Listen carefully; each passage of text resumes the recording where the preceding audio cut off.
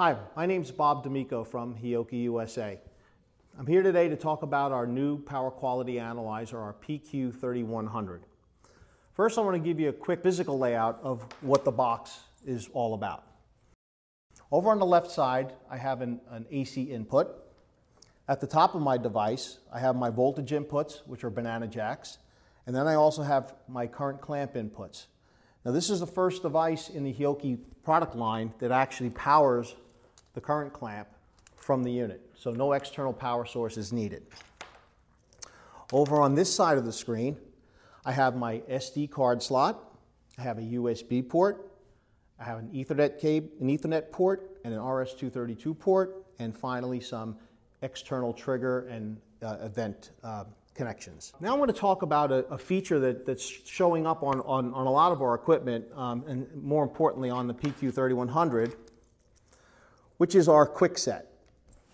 What this allows you to do, it allow, it'll take you through a bunch of different screens from wiring to recording to event capture and so on. So let's go into that in a little more detail. First screen that shows up on my quick set menu is my wiring screen.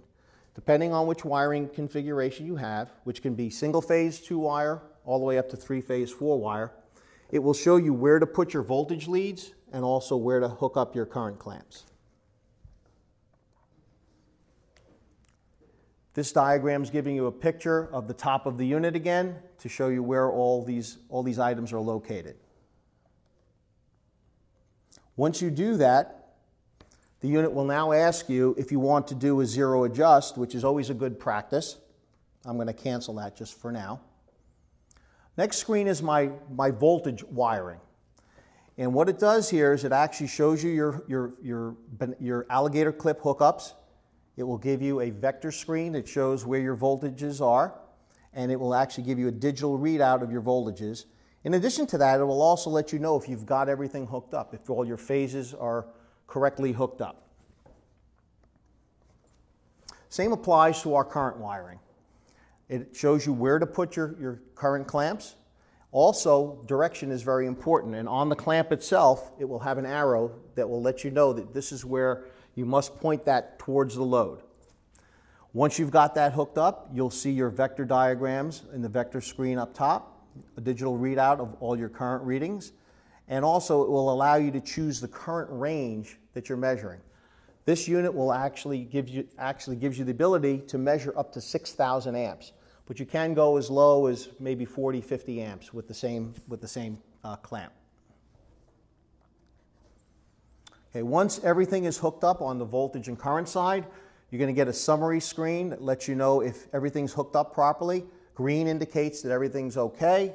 Red will indicate that something's not right. Go back and check your wiring, make sure everything's okay. Now I've got a summary here also, my voltage and my current vectors on the same screen, as well as my digital readouts of my most important parameters. Now I'm on somewhat of a summary screen here that's going to tell you, based on the quick set, the out-of-the-box threshold levels that are set for voltage transients, for voltage swells, dips, interruptions, frequency, and THD, and also inrush current, which you can turn on manually later on. Uh, the next screen is our, um, our, our, trending screen, which gives you the ability to choose the, the interval at which you want to record data. Send it over to your memory card. During that process, what ends up happening is that, all the data, including voltage, current, power, power factor, harmonics, you name it, any, any electrical parameter you could possibly think of, is all going to be stored on your memory card for, for future data analysis. And the last step in QuickSet is actually a summary of our voltage event threshold levels and also our trending or our recording screen.